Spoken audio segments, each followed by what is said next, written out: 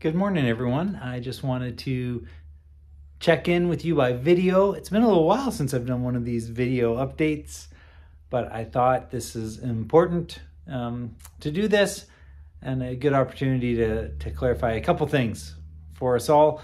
Uh, number one, a number of you received these flyers or these information sheets on your cars on Sunday. And I've had people dropping them off saying, What is this about? This was not from us here at the church, from anybody at the church. This must be from someone who is local. I've asked a few other pastors, they did not have them in their parking lots, but have received similar things in the past, they say, and as well, we have too. I, I recognize this type of information that's been on our cars disseminated in the past. Uh, it's not from us. It seems to be from someone who is very concerned uh, about worldwide council of churches, specific organizations banding together. There seems to be a really uh, a real sincerity of faith and belief behind it.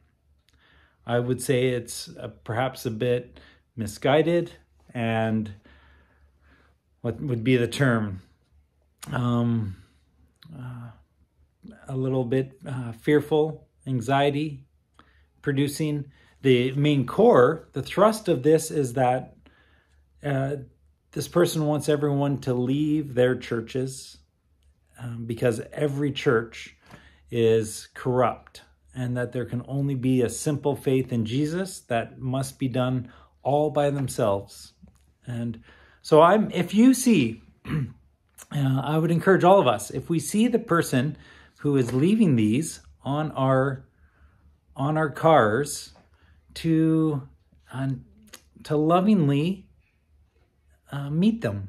I'm looking forward, hopefully one day, to meeting the person who's leaving these on our vehicles and getting to know them because I feel they must be very lonely and not able to trust anyone from any faith background.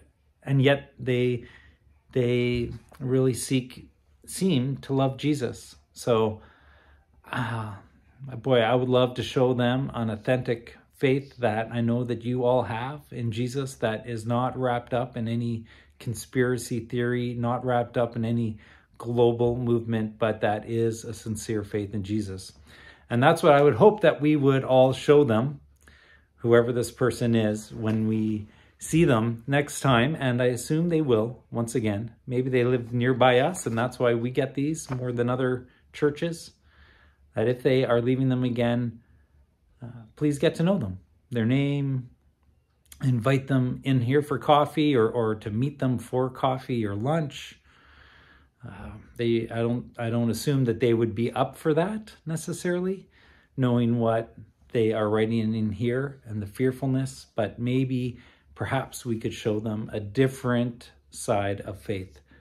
Uh, perhaps they've been re- really hurt in the past by their faith. I don't know. So, anyway, so that's these. A couple other things I just want to mention and clarify that we have the gleaners coming up. They would love our help throughout this week or next week, but next Saturday, November 2nd, is when we are planning on going out. The plant the where they do it, they have the obviously they have the furniture shop here in town, which you can support them by going to that as well. But the plant where they do the um, preparation, food processing, is out in Lavington and it's a little bit tricky to get to. So if you haven't been there before, either feel free to ask us for directions or look it up if you're a, a maps person online, or we could uh, happily meet you here at the church Saturday morning and take you out there. So consider that if you want to join us for next Saturday, November 2nd. Now, before that, next Thursday night, All Hallows Eve, otherwise known as Halloween, we are going to be having a, a, fire pit and some hot chocolate out here on our lawn. And this is a really wonderful opportunity for us to greet our neighbors as they walk by. One of the only opportunities, really, that we have where we can authentically interact with them, just uh, give them hospitality. So many of them are walking by our church, and we can offer the warmth of Christ in hot chocolate and a candy bag, maybe some caramel apples, a fire pit to warm up at, maybe a little movie on a screen. We'll see. So if you have some ideas or want to be a part of that, either set up and the early part of the evening or come a little bit later and, and help us with a bit of the later part of the evening. We're probably going to go from setting up at 3 to tearing down by 8. So if you want to be early part or later part of either of those and being a part of connecting with our neighborhood, we'd invite that. Otherwise, we'd encourage you, if you have kids coming by, to be a blessing in your neighborhood to them just with uh, some nice,